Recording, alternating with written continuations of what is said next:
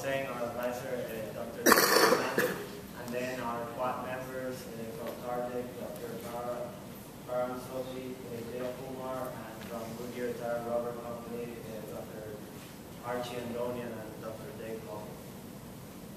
So the outline I'm going to talk about, uh, first I will go into uh, why we're doing it, uh, the objectives and the motivation behind this project.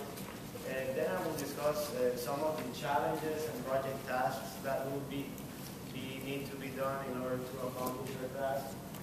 Uh, then I will go a little bit into uh, a review of the state of the art entire modeling for off-road applications. Then I will present uh, our, our subsoil model, and after that I will give uh, the floor to my colleague here and we will go over some of the proposed experimental work and preliminary work that we have done.